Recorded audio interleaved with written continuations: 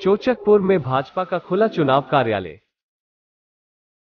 गाजीपुर के चोचकपुर में जिला पंचायत अध्यक्ष सपना सिंह एवं भाजपा जिला अध्यक्ष भानु प्रताप सिंह ने हिंदुस्तान मैरिज हाल चोचकपुर में हवन पूजन करके तथा फिता काटकर जिला पंचायत सदस्य वार्ड संख्या इकतालीस करंडा द्वितीय से पार्टी प्रत्याशी शैलेश कुमार राम के कार्यालय का उद्घाटन किया। शैलेश कुमार राम की विजय सुनिश्चित करने के लिए मैरिज हॉल में स्थानीय पार्टी पदाधिकारियों तथा कार्यकर्ताओं को संबोधित करते हुए जिला पंचायत अध्यक्ष सपना सिंह ने कहा कि भारतीय जनता पार्टी का लक्ष्य है पंचायतों को मज़बूत करना और पंचायतों की मजबूती के लिए योग्य और कर्तव्यनिष्ठ जनप्रतिनिधि ही इस लक्ष्य को पूर्ण कर सकते हैं। और आज क्षेत्र की जनता को क्षेत्र के विकास के लिए शैलेश राम जैसे योग्य प्रतिनिधि का चुनना ज़रूरी है। जिला अध्यक्ष भानु प्रताप सिंह ने कहा कि भारतीय जनता पार्टी सेवा समर्पित राजनीति के माध्यम से विकास और जनता के कल्याण में भरोसा और विश्वास रखती है। और इससे पहले भी इस क्षेत्र की जनता ने हम पर भरोसा जताया था और हमने क्षेत्र के हर गाँव में विकास की ज्योति भी जलाई है।